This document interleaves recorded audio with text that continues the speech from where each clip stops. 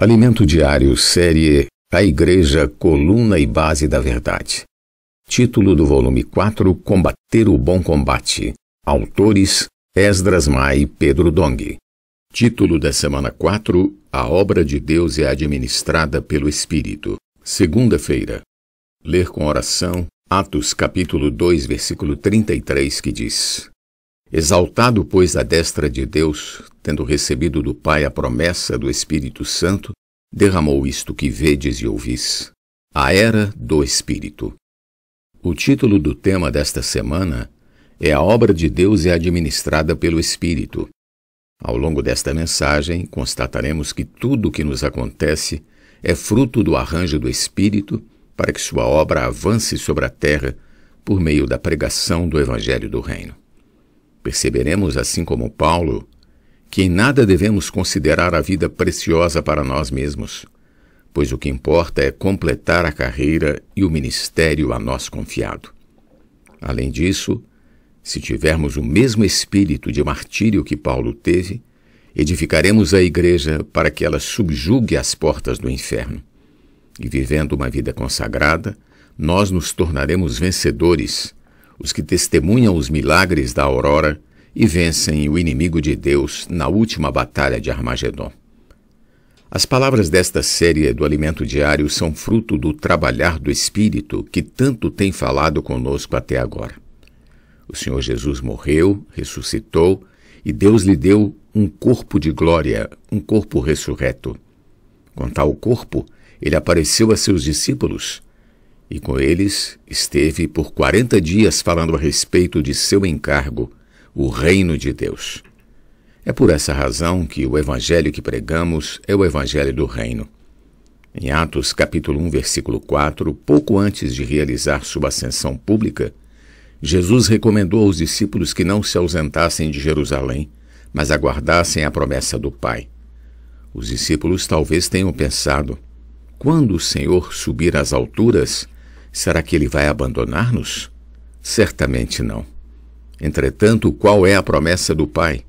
A resposta está neste versículo: Mas recebereis poder ao descer sobre vós o Espírito Santo, e sereis minhas testemunhas, tanto em Jerusalém como em toda a Judéia e Samaria e até os confins da terra. Atos capítulo 1, versículo 8. Em sua ascensão, o Senhor foi para o Pai mas seus discípulos receberiam poder ao descer sobre eles o Espírito Santo. Com isso, eles seriam as testemunhas do Senhor Jesus. Em outras palavras, o Espírito Santo era o próprio Jesus. Na essência, Deus é um só. Eles receberiam o Espírito Santo, mas seriam testemunhas de Jesus, tanto em Jerusalém como em toda a Judéia e Samaria e até os confins da terra. Aleluia! No dia de Pentecostes, a promessa do Pai proferida pelo Senhor Jesus se cumpriu. Querido leitor, o Espírito Santo foi enviado para a Igreja.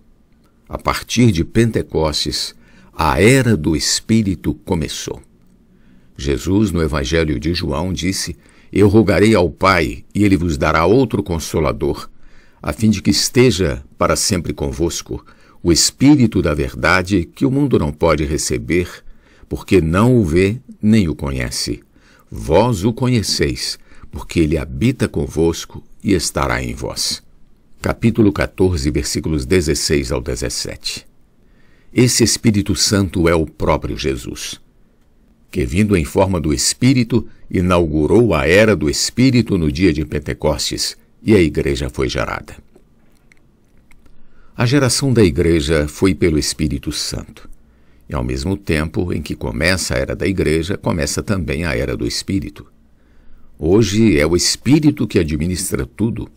É o Espírito que opera tudo debaixo do encabeçamento de Cristo e debaixo da operação de Deus Pai. Enfim, o Espírito é quem hoje faz todas as coisas.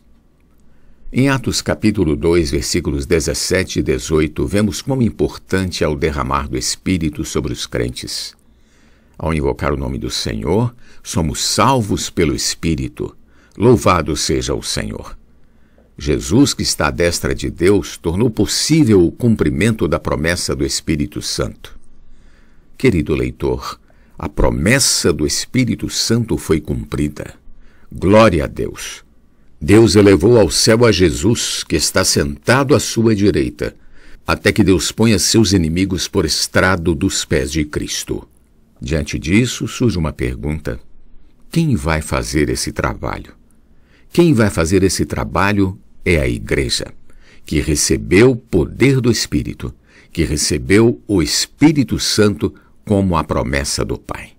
A Igreja, portanto, por meio do Espírito, colocará todos os inimigos de Deus debaixo dos pés de Cristo. Pergunta de hoje: qual é o papel do Espírito atualmente? Jesus é o nosso amado Senhor.